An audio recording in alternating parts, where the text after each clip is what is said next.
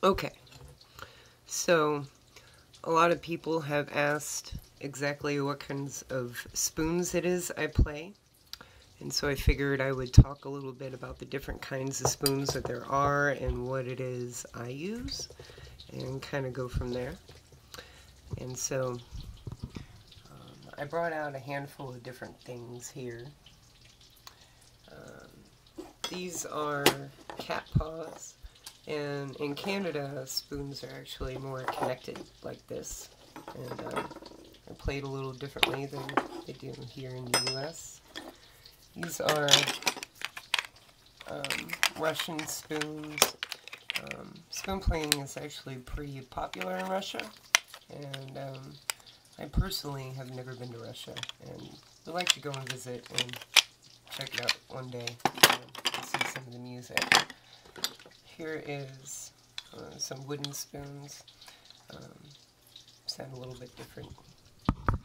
But I don't know if you can hear my bacon cooking in the background there.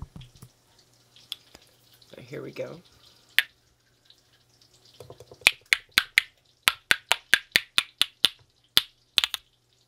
See? Now these are the spoons that I play. These are just straight metal steel spoons. And they're pretty heavy. I like heavy spoons because it makes the weight and gives it momentum by itself. Um, but they, they sound nice and clear.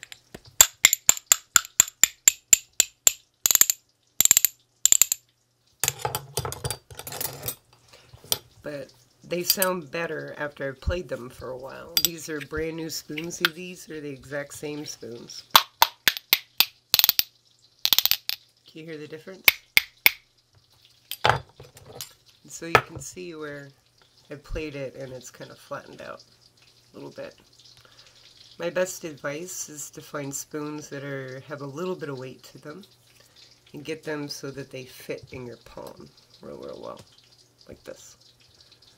That way you can get that suction, make those pops. Now, the tape I'm using, I just use regular old tape. This is, um, I think this is actually rifle tape here. Got a little camouflage, camo there. This is uh, athletic tape, Mueller tape. I put a link in the description. And I'll upload another video on how exactly it is I I wrap my spoon handles here. Uh, maybe I could do that later this afternoon or tomorrow. And um, kind of go from there. Um, these are the rhythm bones. We'll talk about those in a totally different video. And maybe even musical song. Alright. Hope you got it.